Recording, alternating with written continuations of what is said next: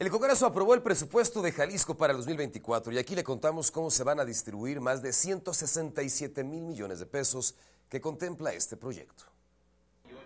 En el Congreso del Estado de Jalisco, diputados locales aprobaron por mayoría el paquete de presupuesto de egresos 2024, con un total de 37 votos a favor y uno en contra de la diputada de Futuro, Susana de la Rosa.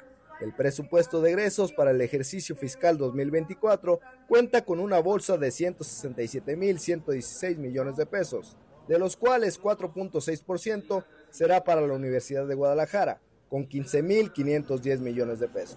Este paquete económico tiene un crecimiento nominal de más de 5% con respecto al año anterior, que fue de 158.860 millones de pesos. La diputada encargada de la Comisión de Hacienda y Presupuesto señaló que este es un presupuesto histórico que prioriza la educación con 42.101 millones de pesos, salud con 19.550 millones de pesos. Un presupuesto histórico, un presupuesto que permite priorizar lo que a los jaliscienses más les preocupa, la educación pública, la salud, la infraestructura y también el desarrollo en los municipios. Por su parte, la diputada del Partido Político Futuro, Susana de la Rosa, detalló el motivo por el que votó en contra.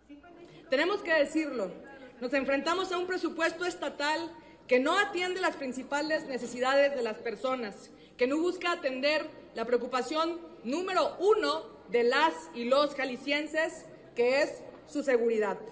El partido Morena se reservó algunos artículos del dictamen que se van a discutir en lo particular. La reforma que presentó el gobernador de Jalisco, Enrique Alfaro, para que la Universidad de Guadalajara tenga un presupuesto constitucional de 5% anual, se aprobará entrando el próximo año. Para imagen, Ernesto Gómez Camacho.